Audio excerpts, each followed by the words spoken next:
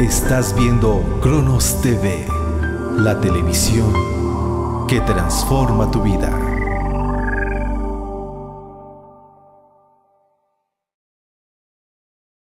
Un saludo a todos los que nos escuchan y nos ven aquí en Cronos TV el día de hoy con una entrevista muy, muy interesante eh, y además de lujo, porque tenemos un invitado de súper lujo, el doctor Salvador Tomasini. Doctor, gracias por estar con nosotros en Cronos TV, gracias por el esfuerzo que hace por venir, porque sabemos que es muy ocupado. Y pues trajimos al doctor Tomasini porque pues él ha estudiado de una manera muy, muy importante todos los escritos de, de Luisa Picarreta, eh, referentes a la divina voluntad. Y cuéntenos, doctor, un poco cómo nació esta inquietud y, por, qué la, por qué la tuvo, por qué eh, se inició y cómo, cómo fue surgiendo este conocimiento. Bueno, en primer lugar, pues, muchas gracias por invitarnos, Ceci. Aquí estamos. Gracias a usted, doctor. Y el por qué, por qué inició este, ¿cómo diríamos? Este interés yo creo que en el momento de, que de cambio de, nosotros, todos tenemos un momento de conversión, de haber vivido en una vida normal, fuera, sin Dios, y en algún momento llega esa idea de que estamos incompletos y de que necesitamos a Dios en nuestra vida, y empezamos a buscar.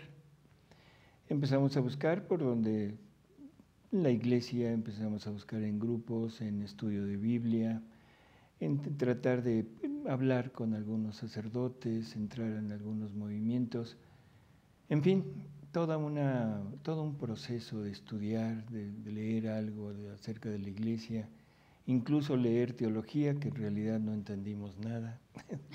o sea, pero este, este caminar, este ir caminando, me fue llevando a encontrar tanto personas como grupos, asociaciones muy interesantes entre ellas el Opus Dei con algún sacerdote que en realidad es de las personas que más me han, me han ayudado en este camino. Y con los franciscanos también, con sacerdotes muy, muy amigos, diría yo. En fin, pero todo esto que yo encontraba no era suficiente. O sea, Como que le faltaba algo. Me faltaba algo, me faltaba me faltaba una integridad, una, seguridad de, lo que soy, de lo que venimos a hacer este mundo. En algún momento eh, tuve una necesidad de irme acercando a, Dios, a los sacramentos, a misa. Cada vez iba más seguido a, asistía a misa, a la Eucaristía. Pero seguía en esa, en esa misma, pues no sé, vaciedad de mí, espiritual. En aquel tiempo yo trabajaba en el Seguro Social y como ginecólogo trabajaba en el programa de planificación familiar.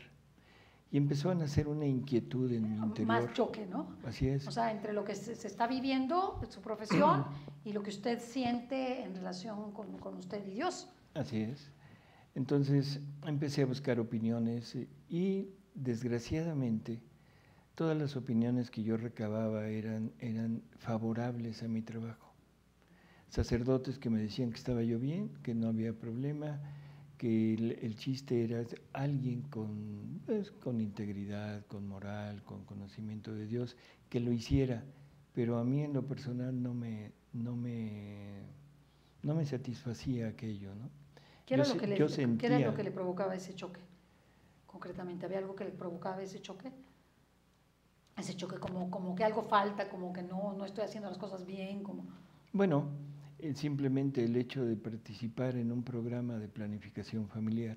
Ya con eso, ya usted decía, pues no, no, no, no está coincidente, ¿no? Y donde se hablaba de las, o sea, de todo lo bueno que era la planificación y sobre todo con métodos que no son exactamente anticonceptivos, sino que son métodos abortivos, ¿no?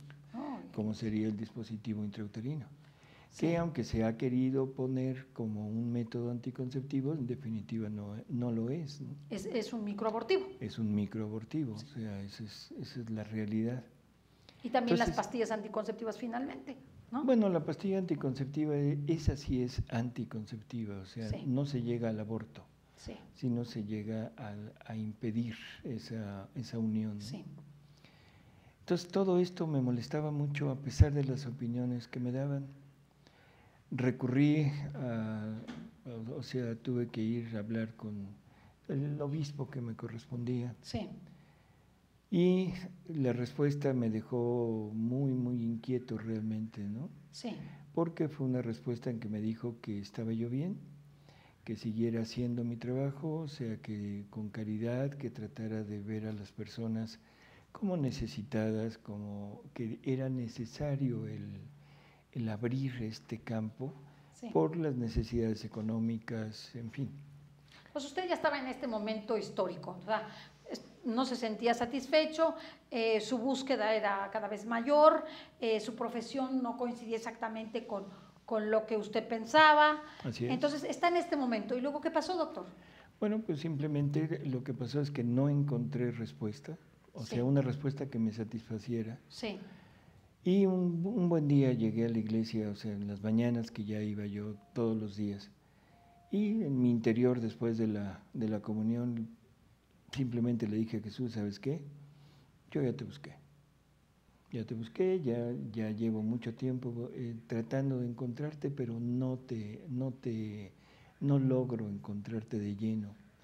Y listo, me salí de la iglesia, en muy poco tiempo, una semana, cuando mucho, o sea, por medio de una ex ami- un amigo de Sí. la infancia, que me lo encontré, empezamos a platicar de religión, me dijo que, que si podíamos reunirnos, me entregó unos libros, me gustaron mucho, libros del padre Octavio Michelini, en hace, en 1970 más o menos, sí. y me, me agradó muchísimo. ujú, Entonces seguimos con esto y después un día me dijo, oye, ¿quieres este, platicar con otra persona? Le digo, sí. Y resulta que esta otra persona era un amigo también de la infancia, José Luis Acuña. Ah, que es una persona linda. Así, José Luis Sí. Acuña, y él que estaba muy, muy interesado y muy em- empapado de Sí. esto de la divina voluntad. Sí, Empezamos a platicar, me, me- me empezó a, a platicar sobre los escritos de María Valtorta al principio y dos, tres semanas después me, me dio la- los primeros escritos de Luisa, ¿no? muy interesante. me dio el volumen 12 de Luisa. Y fue un impacto total, así O total. sea, simplemente el, el leer ese volumen, aunque usted no se leyó todo lo anterior, No, le causó un impacto. Fue un impacto, fue algo que, que no había yo entendido, que no había yo comprendido dentro de esa relación de Dios con su criatura y me fascinó.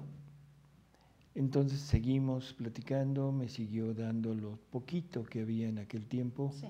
y de ahí en adelante, o sea, ese es el, el motivo el por el cual me quedé fijo en este... ¿Usted ha hecho algún viaje a Corato, ahí donde, donde es el, el lugar donde ella nació y donde ella vivió? No, no he estado en Corato. No ha estado en Corato. Y, He estado en Italia, pero en Roma, pero no he tenido la, la Doctor, tiene- oportunidad. ¿eh? Tiene que ir. Sí, se yo lo creo están que sí. reservando, se lo están reservando. Pero quería yo preguntarle, ¿cómo, o sea, los escritos, eh, yo sé que usted ha escrito mucho acerca de, de la divina voluntad, eh, una vez que ha tenido a su alcance los escritos de Luisa Picarreta, ¿tuvo usted la posibilidad de ver escritos originales de ella? Los directamente, los originales no, pero las copias de, los, de las libretas de Luisa sí. Sí. Eh, ¿cu- ¿Cuántas libretas este, tuvo usted a su disposición, doctor? 38. ¡Ay, qué maravilla! ¡Qué maravilla! 38 son los, las 36 eh, libretas de los volúmenes, Sí, más aparte los originales de las Horas de la Pasión y de la Reina del Cielo. pero Eh, esos, esos documentos eran copias, pero de sus escritos originales, de, sus, escritos, manuscritos, Así es. vamos a decirlo. ¿Y usted sabe italiano, doctor?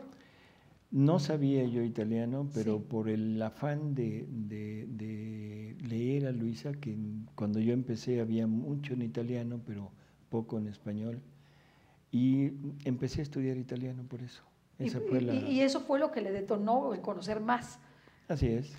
Y aparte leer en italiano también a María Valtorta, ¿no? Entonces, eh, usted hizo la traducción, por así decirlo, de sus escritos. Bueno, esto es, una, es algo que se ha prestado a mucha confusión y yo quisiera aprovechar para... Ah, sí, por favor, doctor. Cuando salen los, los, escritos, cuando se abre la causa de, de, beatificación de Luisa, entonces se empieza a hacer una transcripción de las libretas y esa transcripción se hace por medio de algunas personas en Italia, en Corato el padre con eh, dos sacerdotes que estaban encargados de todo este movimiento, que era el padre John Brown y Mike Adams. Sí. Y con José Luis Acuña, con su hija, con, o sea, aquí en México, y no sé si alguna otra persona. El caso es que ellos transcriben todos los escritos de Luisa y al cabo de, no sé, habrá sido un año de que esto terminaron con esa transcripción, un día José Luis llega y me dice, oye, fíjate que eh, me habló el padre Mike Adams y me dice que no tienen la transcripción del libro 1, que no saben dónde está, que si la podemos hacer. ¿Tú la querrías hacer? Y dije, claro, por supuesto, esta es la mía, es el momento adecuado. Entonces le dije que sí, me entregaron copias de, los manuscritos de ella. Empecé a hacer la transcripción al italiano. Y al poco tiempo, no sé, habrá sido un mes, mes y medio, un día en una plática con él, me dijo que, que, querían hacer una nueva transcripción, que porque la otra no la, parte se había perdido, parte estaba mal, que si me interesaría hacer toda la transcripción de todos los escritos. ¡Qué maravilla, doctor! Le dije, por supuesto. Estamos, es Disneylandia para usted. Ándale, Disney World en, acción. Entonces, gracias a eso tuve acceso a los escritos. Y quiero, Pero esas, son esas eran fotocopias también. Sí, sí. Pero eran de los originales. De los originales. Ah, es una maravilla. De Luisa. Y esto lo quiero decir así porque se ha habido muchas malas interpretaciones en cuanto a, la forma como se, yo obtuve los escritos. o sea que realmente usted sí estaba autorizado para hacerlo. O sea, le, estaban solicitando a usted una transcripción, una nueva transcripción, toda vez que había una serie de deficiencias y además también de, omisiones, porque se habían perdido, algo había pasado. Algo había pasado. Además, en esto siempre pasa, siempre pasan cosas. O sea, que, es el de todos los días, ¿no? Las famosas diosidencias. Sí, o sea, siempre pasan cosas.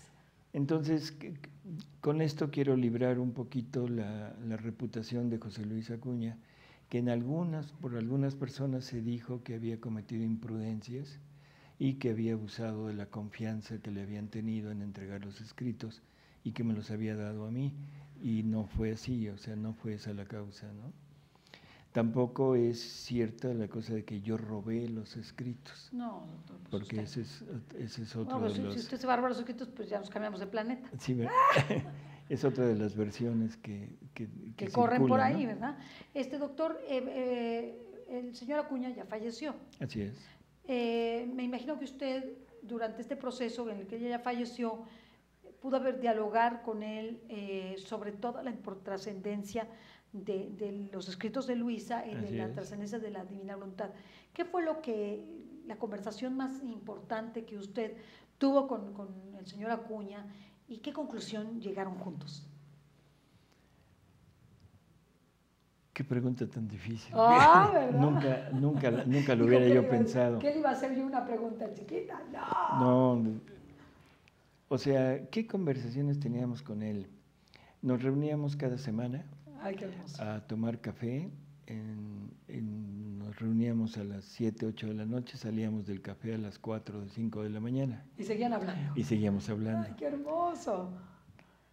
¿Sobre qué hablábamos? Sobre los escritos, sobre ese explicar lo que iba de Luisa diciendo, ese entender lo que Dios quería de nosotros, ese empezar a tratar de planear dentro de nosotros el cómo lograrlo. Y yo creo que todas, todas las pláticas eran centradas en este, en este tema. ¿Qué es lo que Dios quiere de ti? Del hombre como tal. del hombre. ¿Cuál es la finalidad de Dios? Entonces, yo no podría decir un tema en especial, bueno, el tema de la divina voluntad, pero sería... Pero muchas pláticas, platicó mucho con él. Así es. Tuvo la oportunidad de, de- de dialogar mucho con él. ¿Y de esas, de, esos- de esas pláticas surgió algún escrito especial entre ustedes? O sea, que escribieran algo y que, y que ese documento, algo que, que- que fuera portativo entre usted y el señor Acuña, ¿o no? No hubo la posibilidad. No, no hubo, no hubo nada así, o sea, hubo desgraciadamente también malos, Sí, malos entendidos después. sí. Y en forma general, prácticamente yo diría que lo único que a lo que llegamos es a una total y absoluta identidad de pensamiento. Que eso, que eso es muy importante. Mire, doctor, estamos viendo en la, aquí en la pantalla, estamos viendo un cartel. ¿De qué se trata esto, doctor? Ah, bueno, este cartel es una como invitación que se está haciendo, ¿no? ¿Por qué no, ¿Por qué no te atreves a vivir una vida de cielo desde aquí, Desde la tierra. desde la tierra? ¿Por qué no te atreves a vivir a este Jesús, pero ya aquí en, en- en la tierra? Sí. Y es un cartel en donde se hace esta invitación para grupos, para grupos de jóvenes en una parroquia de, de Nuestra Señora de las Mercedes. En fin, es Es una idea. invitación de esta iniciativa que ya tendremos algunos programas y algunas cosas. A ver si nos atrevemos a vivir desde la tierra el cielo. El cielo. Que ese Así es el, el punto fundamental de la divina voluntad. Y que ese es el cumplimiento del Padre Nuestro. Así es. O sea, el hágase tu voluntad, como en el cielo, así en la tierra. ¿no? O sea, que eso es lo, lo- lo importante que lo- de lo que tenemos que hacer. ¿Cuál para usted es es el punto fundamental de, de la divina voluntad? ¿Qué, ¿Cuál sería, cómo usted la, la- la resumiría, no como el término divina voluntad, porque, sino algo más que nos pueda decir para que las personas que nos escuchan empiecen a, a entender un poquito más la divina voluntad, el reino de la divina voluntad? que empiecen a entender más el reino de la divina voluntad. Es un Jesús, es, una, es un Dios que crea a su criatura para vivir en ella, para, para poder tener una, una re- interrelación de amor entre Él y su criatura, pero una interrelación de amor a la par, donde, donde, donde Dios le dé al hombre amor divino pero que el hombre pueda corresponder con amor divino. Donde el hombre, Dios le dé al hombre vida divina y el hombre le pueda dar a Dios vida divina. Y esto es también cumplimiento del Evangelio, ¿no? Sí. O sea, aquella frase de Jesús de yo en ellos, tú en mí, para que ellos sean uno con nosotros. Es eso, esa, esa relación de amor que Dios quiere tener con nosotros, pero al tú por tú. si Dios quiere tener una relación con nosotros de, de tú a tú, denos tres consejos para lograrlo. Tres consejos aterrizados. Tres Aterrizado. consejos que a usted le han servido para empezar a vivir el reino de la divina voluntad. Bueno, primero partiríamos de, partiríamos de un conocimiento. Sí. Dios quiere venir a morar en nosotros. Sí, Para que Dios quiera venir a morar en nosotros, tendríamos que tener desapego total de todo, sí, o sea, el, el quitar todo lo que nos estorba, todo lo que le estorba a Dios, todo lo que no sea de Dios en nosotros. Un conocimiento cada día más profundo de Jesús, porque el conocimiento nos va a llevar al amor. Y el amor es lo único que me puede transformar en Él y hacer que me entregue totalmente a Él. Y una fe inquebrantable en que esto es de Dios. Ay, qué hermoso, qué hermoso, doctor. Pues invitarlos porque aquí el reino de la divina voluntad se vive y, y se escucha todos los miércoles de 11 a 12 en el programa del doctor, en esta iniciativa que, que- que ellos tienen y que también la hacemos nuestra de ¿te atreverías? ¿Te atreverías a vivir el cielo en la tierra? Vamos a estar transmitiéndoles a ustedes una serie de programas eh, por televisión, por Cronos TV, que nos permitan acercarnos más al reino de la divina voluntad. Así es. Eh, muchísimas gracias, doctor. Se nos va rapidísimo. Quisiéramos preguntarle muchas cosas. Lo dejamos eh, así como en suspenso eh, para una siguiente ocasión que hagamos una entrevista, otra con usted, en donde ya profundicemos un poquito más sobre el reino de la divina voluntad. Eh, pero yo quería que nuestro público conociera un poquito su trayectoria, conociera un poquito de dónde había nacido esta inquietud de conocer un poquito más de la divina De la voluntad divina. y de transmitirla. Eh, ¿Tiene algún teléfono, doctor, donde se puedan comunicar con usted? Porque usted da cursos, usted da charlas. Eh, ¿Dónde se pueden comunicar con usted? Sí, con, con mucho gusto les doy un celular. Sí, por favor. que sería 55 23 57 74 77. ¿Otra vez? 55 23 57 74 77. Muchísimas gracias, doctor, por estar con nosotros No, a ti, en esta pequeña entrevista, muy chiquita, pero que el objetivo tiene de agradecerle siempre su, su presencia aquí en, en Cronos TV y desde luego hacer la invitación para seguir con nosotros. Claro que sí. Muchas gracias, doctor. No, Hasta la próxima. Hasta luego.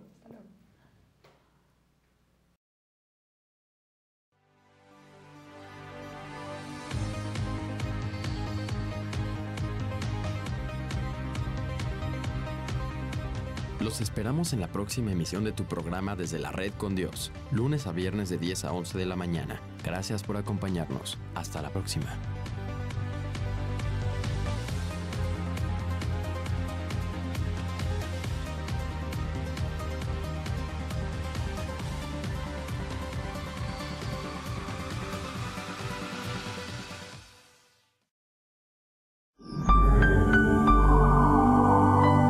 Estás viendo Cronos TV, la televisión que transforma tu vida.